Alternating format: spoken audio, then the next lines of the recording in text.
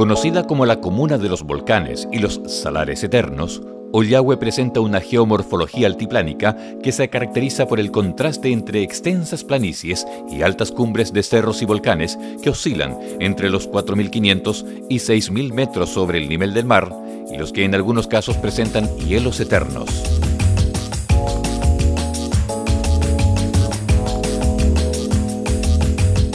A lo largo de su historia, la zona de Ollagüe se ha convertido en un corredor de intercambio entre las comunidades del altiplano y aquellas asentadas en el extremo noroeste de la provincia de Eloa, en la región de Antofagasta, Chile.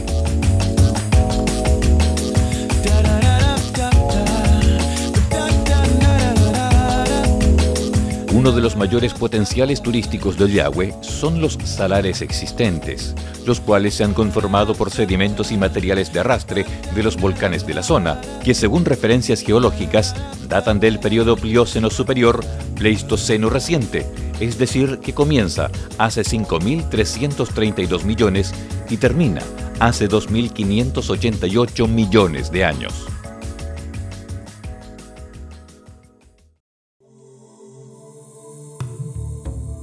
Los principales salares de la comuna son el Ascotán, San Martino Carcote y el Salar de Ollagüe, los cuales con el paso del tiempo han generado una serie de ecosistemas donde es posible encontrar distintas especies animales, como los flamencos, el halcón peregrino, el cóndor y las vicuñas, y también vegetales como la paja blanca, la yareta y el pajonal andino.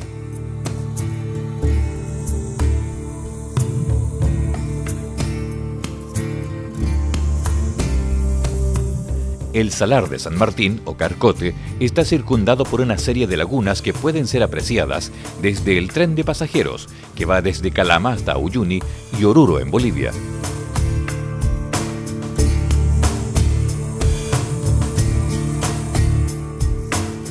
En sus inmediaciones se ubican una serie de sitios arqueológicos que atestiguan las antiguas labores pastoriles transhumantes de los grupos altiplánicos hace unos 10.000 años.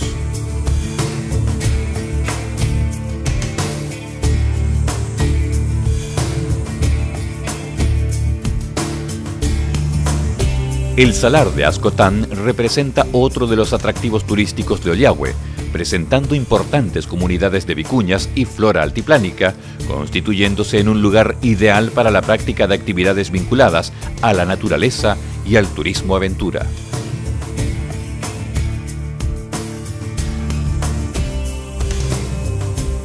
En la zona de Ollagüe, además es posible apreciar una serie de campamentos y asentamientos mineros que existieron en torno a la extracción de azufre, esto a mediados del siglo XX.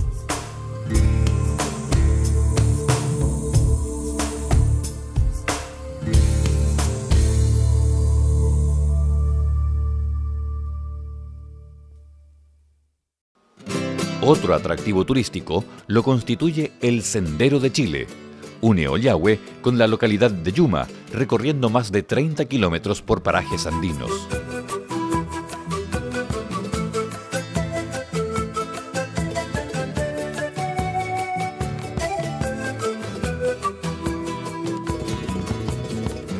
Finalmente, ubicado a 4.150 metros sobre el nivel del mar, el santuario de la Virgen de Andacoyo de Cochca representa uno de los puntos de peregrinación más importantes de la región de Antofagasta.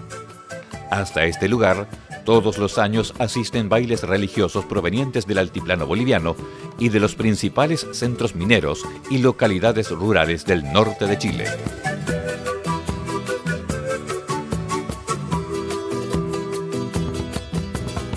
Ollagüe es un destino singular. Compartir con la población atacameña es una experiencia memorable, así como el participar o conocer sus tradiciones ancestrales, acceder a paisajes remotos y disfrutar de lugares inolvidables y únicos.